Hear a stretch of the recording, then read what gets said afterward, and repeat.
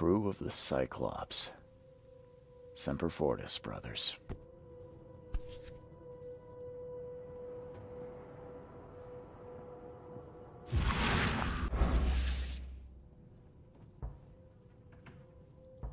Crew of the Cyclops. Semper Fortis, brothers.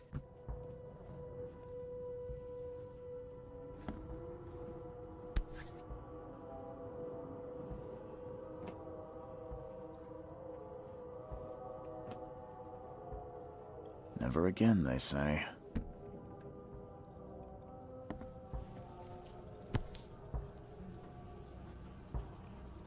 No matter how much of this I chug down, the visions always return.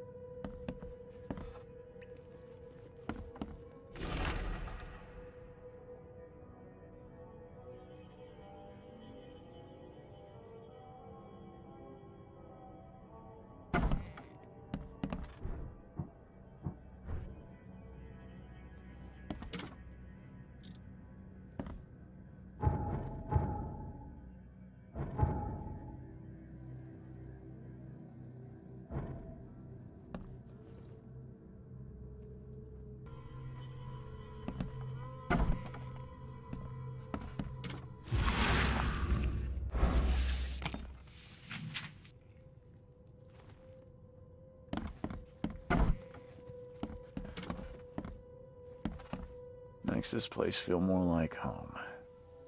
I miss Boston already.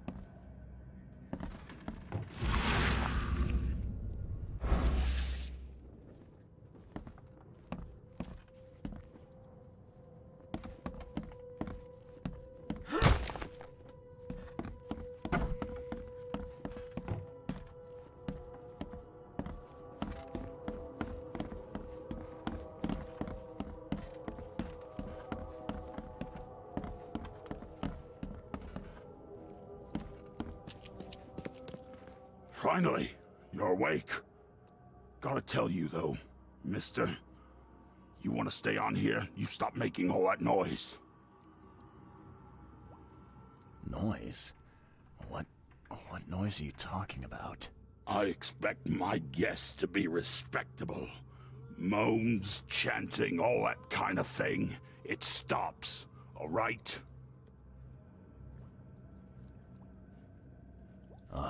yeah, sorry about that. I don't really remember what happened, but I'll I'll do my best. Yeah? Well, next time it happens, you end up sleeping under the bridge like the other newcomers. You're not exactly friendly with your guests. Aren't we the ones keeping you in business? All these newcomers after the flood, they're stark raving mad. What do you mean? You can't imagine the crazy notes and books I find after they move out. Only thing they're good for is lighting the kitchen stove. Can I have a look? I knew it. I tell you, no one sane would be interested. And you want to take a look? Well, fine, fine. Take what you wish.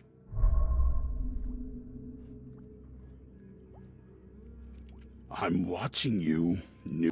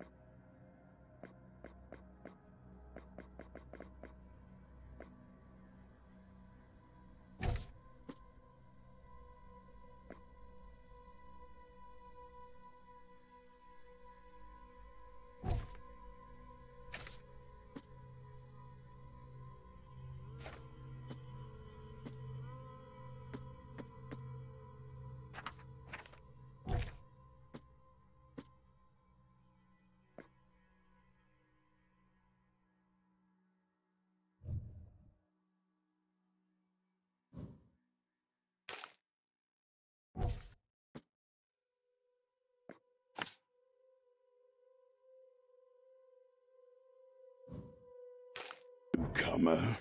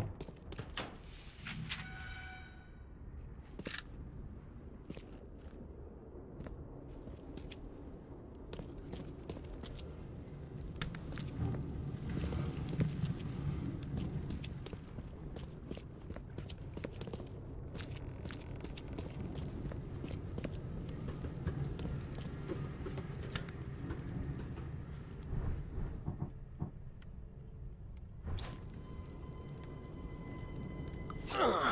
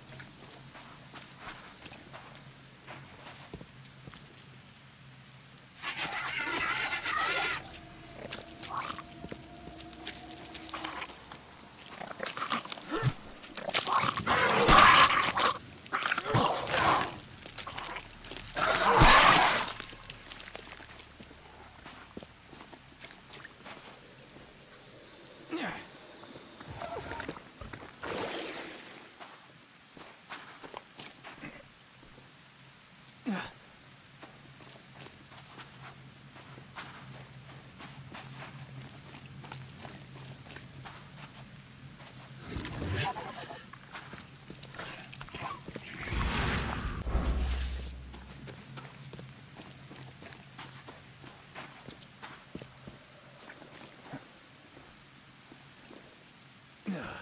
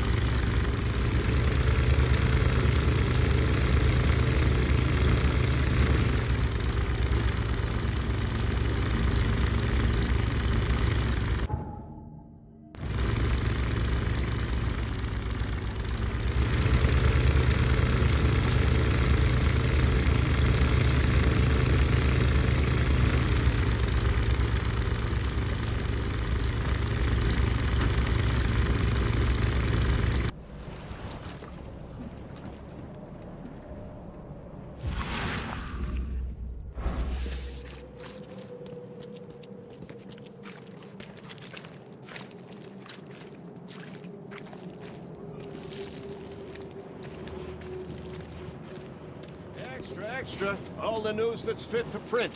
Buy a paper, mister?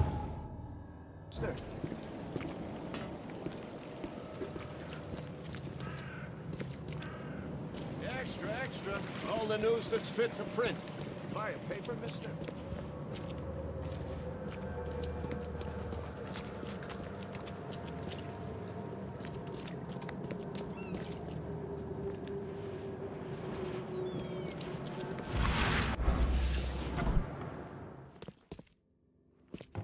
The old papers are by the door. Take them and stop bothering me already. I think you've got me confused with someone else. Aren't you a newcomer?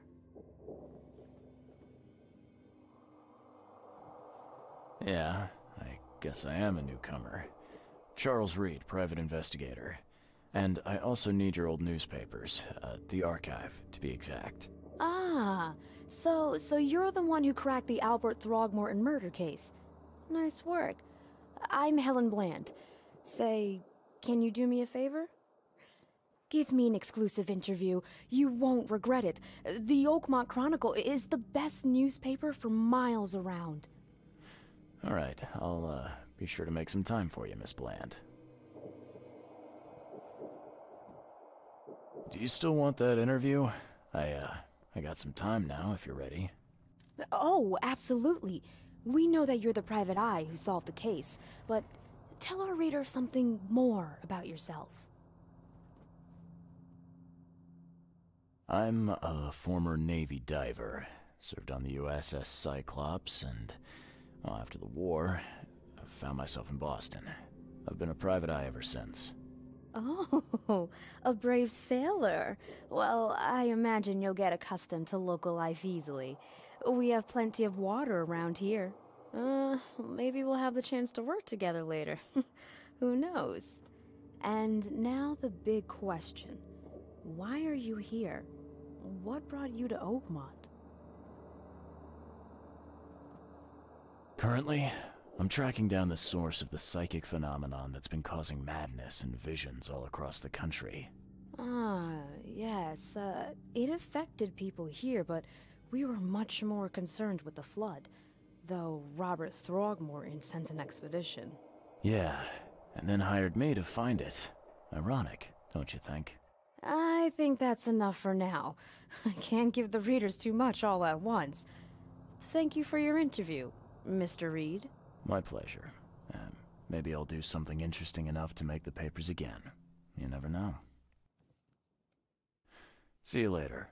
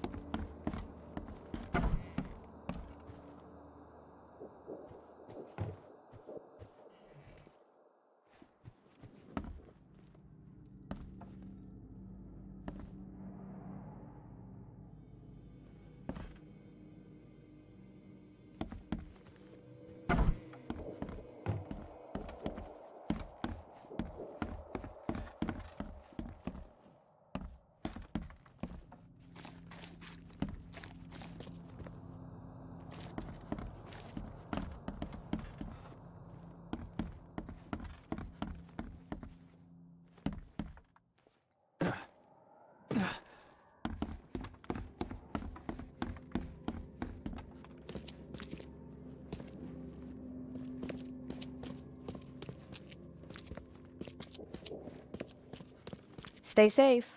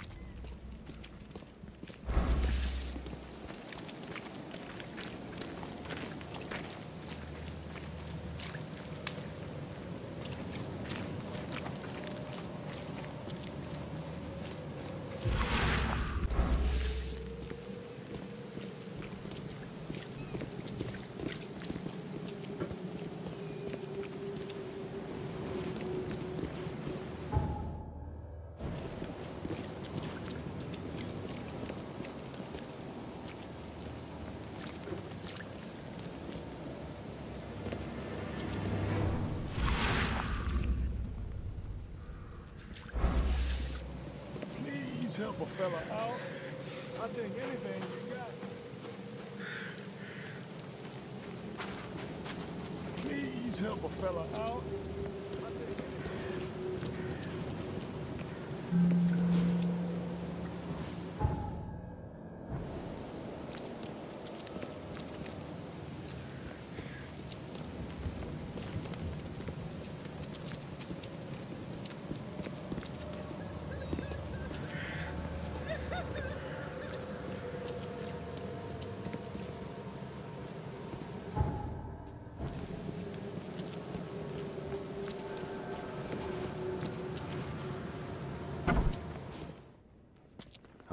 Officer. Well, look who finally decided to show up. If it ain't Charles Reed, the genius that cracked the case of Albert Throgmorton, Captain Caleb Lyons at your service. What can we simpletons do to assist you, Mr. Holmes? You and I have a problem, officer. No, no. Aside from making everyone in the Oakmont Police Department look like idiots, let me be frank, newcomer. You ain't welcome. You slip up, don't cross a T or dot an I, and I'll treat you like every other criminal here. Okay. Well, can I use the police archive in the meantime? You can, but only because of Mr. Throgmorton's patronage. And heed me well, you're on mighty thin ice, and I'll be under it when it breaks. Don't waste my time, newcomer.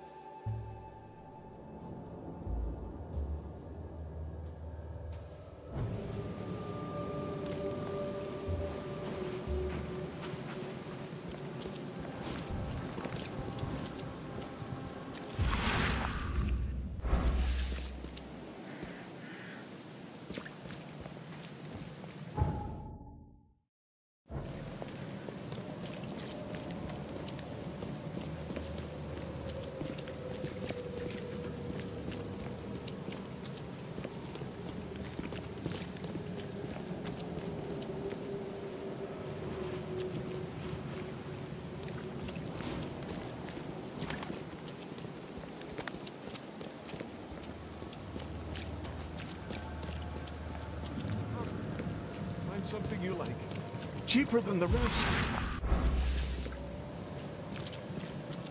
Patient or visitor? Hold on, hold on. Let Dr. Grant guess. A visitor. Though you are a bit pale, you don't have a headache, do you? The usual. Nothing to write home about. Ah, a chronic headache sufferer. Fascinating. Uh, by coincidence, I was studying Helminth and their role in illness uh, before the flood. Uh, Did you know that all of us are infected by Helminth? Y- your headaches could indicate that they have infested your brain. That's news to me, Doc. Sounds serious. Hmm. May I suggest you become a subject in my experimental medical program?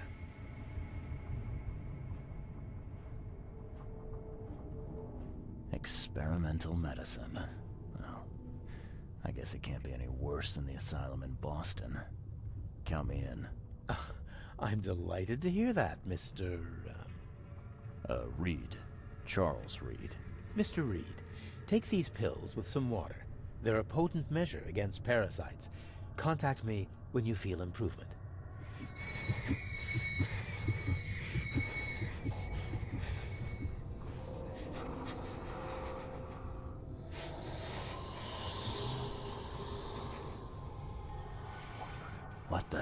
you give me, Doc? Is something wrong? You seem perfectly healthy to me. Your medicine blinded me. And then he, he gave me these visions. Worse than a blow to the head. What are you trying to pull? Intriguing. These side effects are a new development. I'll have to run some more tests. Let me know if anything else happens, won't you? That looks like hard work in these conditions. You need a hand? Well, yes, actually. But it may result in close contact with the Wiles. Is that going to be a problem? I'm prepared to face men and beasts alike. Count me in.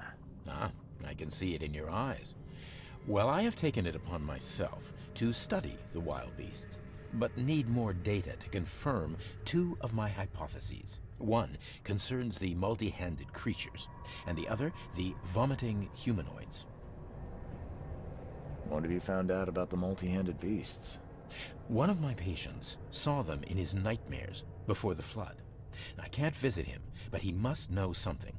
Here's his address. Uh, those hideous wretches seem almost human. But what could turn one into such a monstrosity? Jim Bells, a patient of mine, was admitted to hospital with symptoms resembling cholera, but he turned into one of those things. Incredible. Here's the address. Find out what happened. Bye.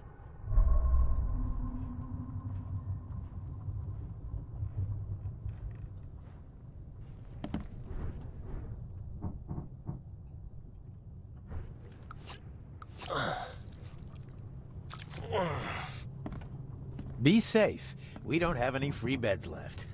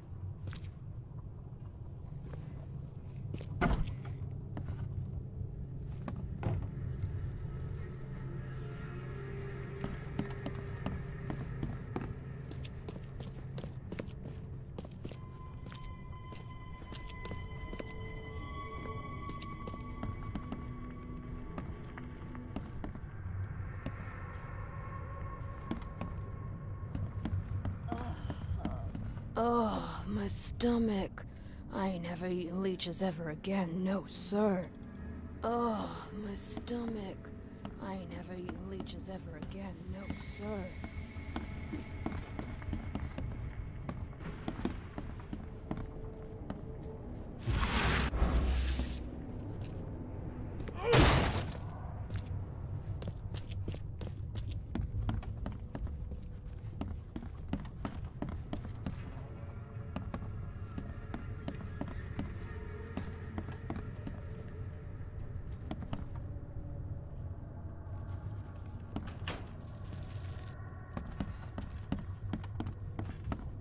Scratch me.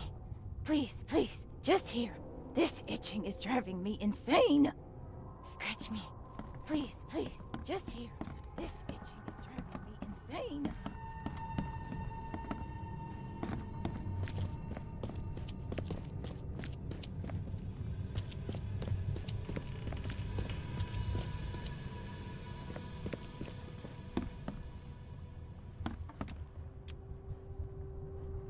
Safe. We don't have any free beds left.